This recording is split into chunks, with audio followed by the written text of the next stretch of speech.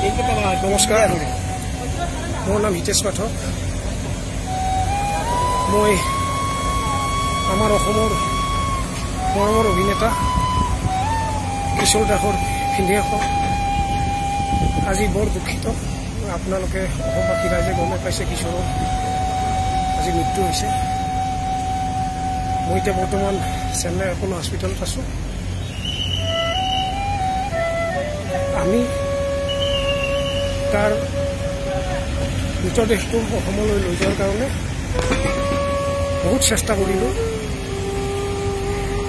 কিন্তু এতিয়া আমি গম পালোঁ যে আমি অসমলৈ নিব নোৱাৰিম আমি কনফাৰ্ম হৈ গ'লোঁ গতিকে তাৰ সৎকাৰ আমি চেন্নাইতে কৰিব লাগিব।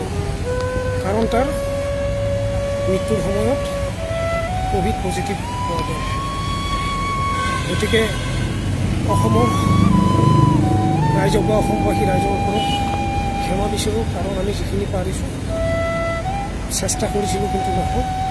সেইটো আমিও কৰিব নোৱাৰোঁ গতিকে আপোনালোকে ক্ষমা কৰিব। ধন্যবাদ।